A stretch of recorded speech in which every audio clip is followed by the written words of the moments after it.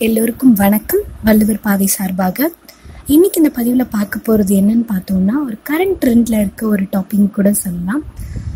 கதிராமங்கலத்தில் எண்ணெய் குழாய் பாதிப்புக்கு எதிராக பல்வேறு போராட்டங்களும் எதிர்ப்புகளும் ஏற்பட்டு வந்துட்டு இருக்க இந்த நிலையில் இந்த பதிவில் நம்ம க்ரூட் ஆயில் எடுக்கப்பட்டு அதனால் வெளியேற்றப்பட்ட கழிவுகளால் இருபது வருடங்களாக பாதிக்கப்பட்டு வரும் ஒரு நாட்டை பற்றி தான் காண்பிக்க போகிறோம் ஸோ பின்வருமாறு அந்த காணொலிகளை நீங்கள் பார்க்க போகிறீங்க எக்வாடோர் தென் அமெரிக்காவை சார்ந்த ஒரு புகழ்பெற்ற மழை காடுகளான அமேசான் காடுகள் அமைந்துள்ள ஒரு நாடு.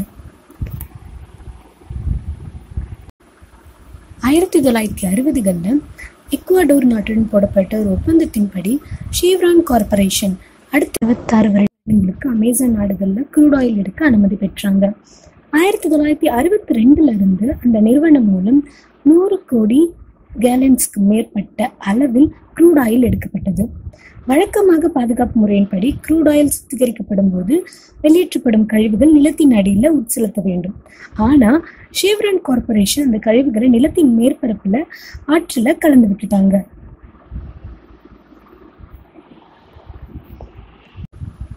அமேசான் காடுகளில் பொதுவாகவே அதிக மழை பெய்யக்கூடிய காடுகள் தான் அதனால தான் மழையின் மூலமாக எல்லா இடத்துலையுமே வந்து நச்சுத்தன்மை கொண்ட கழிவுகள் சீக்கிரமே பரவ தொடங்கிடுச்சு. இதனால பாதிக்கப்பட்ட எக்வாடோர் மக்கள் ஆயிரத்தி தொள்ளாயிரத்தி தொண்ணூத்தி மூன்றுல ஷேவ்ரான் கார்பரேஷனுக்கு எதிராக வழக்கு தொடர்ந்தாங்க. ஆயிரத்தி தொள்ளாயிரத்தி தொண்ணூத்தி ஒன்பதுல London School of Hygiene and Tropical Medicine வெளியிட்ட அறிக்கையில ஆற்றில் கலக்கப்பட்ட ஆயிரத்தி எட்நூறு கோடி கேலன்ஸ் நச்சுத்தன்மை கொண்ட கழிவுகள் மூலம் அங்கு வசித்து வருகின்ற பழங்குடியின் மக்களுக்கு புற்றுநோய் சிறுநீரக பாதிப்பு நரம்பு மண்டல பாதிப்பு குழந்தைகள் வளர்ச்சி பாதிப்பு போன்ற நிறைய பிரச்சனைகள் ஏற்பட்டிருக்கிறத கண்டுபிடிச்சாங்க.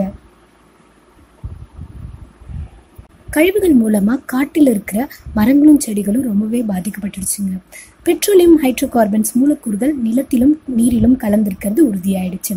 இருபது வருடமாக நடைபெற்று வருகின்ற இந்த வழக்கோட இறுதியில எக்வாடரின் கோர்ட் ஷேவ்ரான் கார்பரேஷனுக்கு பத்து பில்லியன் அபராதம் விதிச்சாங்க. ஆனா அந்த நிறுவனமும் தனக்கு சொந்தமான எல்லாத்தையுமே எடுத்துக்கிட்டு எக்வாடர் நாட்டை விட்டு வெளியேறி விட்டதுன்னு நினைச்சாலும் இந்த அபராதத்தை கட்டாம தான் அவங்க வெளியேறியிருக்காங்க தனக்கு விதிக்கப்பட்ட தண்டனையிலிருந்து எப்படி வெளியேறணும்னு சொல்லிட்டு எல்லா முயற்சியும் எடுத்து வந்துட்டு தான் இருக்காங்க. இன்று வந்து அந்த நிறுவனம் எக்வாடோர் நாட்டில் இல்லாட்டியும் அதோட பாதிப்புகள் தொடர்ந்து அந்த நாட்டில் பரவி வண்ணம் தான் இருக்கு.